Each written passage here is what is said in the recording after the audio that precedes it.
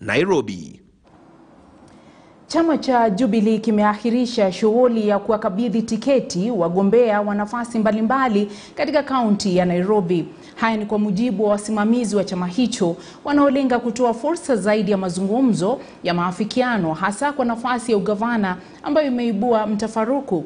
Chama hicho kinajipata njia panda kuhusu nani atapeperusha bendera ya chama kati ya mfanyabiashara Fred Ngatia na aliyekuwa naibu gavana Polycarp Igathe. Hoja kwamba chama cha ODM ambacho pia ni mwanachama wa muungano wa Azimio la Umoja inapigia upatu mbunge wa Westlands Tim Wanyonyi naibua kizungumkuti. Haya yanajiri huku makataa ya mchujo vyamani yakikamilika hapo kesho. our coalition partners to make sure that the candidate that we give or the candidates that we give will not just be our candidates but will also be the Azimio candidates because if you are not careful in Nairobi you might present candidates you know in all positions at the end of the day you lose. So we are in consultation with our partners and I know by tomorrow and that is the reason we have said that the decision for tomorrow uh, for Nairobi is tomorrow.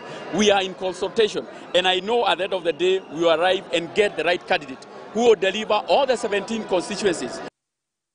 Na mtazamaji, kumbuka mjadala huu ndio unatupambia mjadala wetu wa hii leo kwenye kioo cha hoja. Kwa hivyo